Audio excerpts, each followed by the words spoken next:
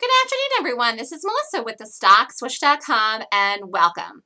Welcome to OWW. This is Orbitz Worldwide. This is the Stock Swoosh Show Play of the Day. Interestingly enough, this wasn't what I thought I was going to do last night.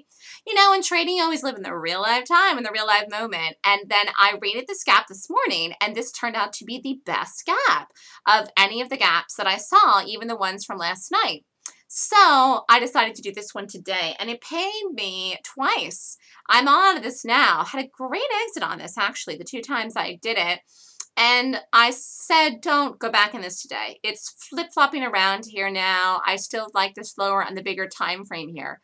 But I'm out of this as a day trade and I wouldn't reshort this today. Here's the gap.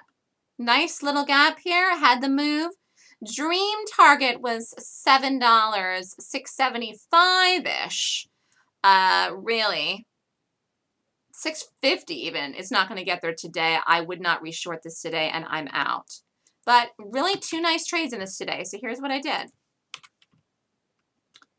Really like this today, too. Really happy here. This was really nice to do. Very aggressive.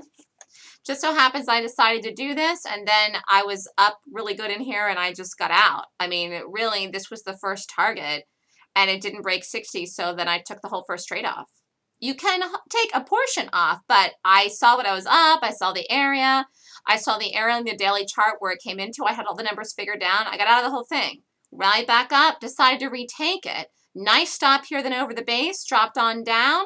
I actually got out of this here in this bar here um, but you could have held it all the way down into here and was a really, really, really nice trade. Great exit. And again, 725, if you don't get this through the, you can't stay in a trade when it rises back and give half the money back. So you have to be out. And here, the next number was 740, and that's the reason I got out of this guy here.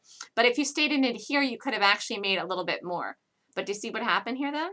Actually went over the high of the day, so now hands off this now the rest of the day but a really nice gap and paid me very, very well this morning in two nice trades. And that's your day. I mean, you can do one trade and be done. You can do two trades and be done.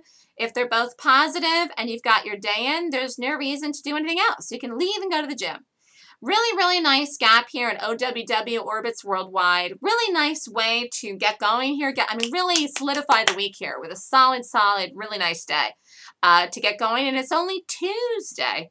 Wednesday, Thursday, Friday have left for the week. Uh, nice, beautiful, fabulous earning season. There were a lot of good gaps today. There were several gaps that rated more than 20 points. You could have done any one of them per my rating system.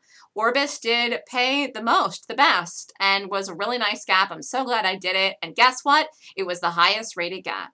I love the fact that my system tells me what's really good and what's going to work and have the best and cleanest entries besides the directional bias and the follow through. This is Melissa with the StockSwoosh.com. If you'd like more information on the upcoming GAP course on November 9th and 10th, it's this weekend, then email me at melissa at the StockSwoosh.com to sign up. Thanks, everyone, and have a fantastic day.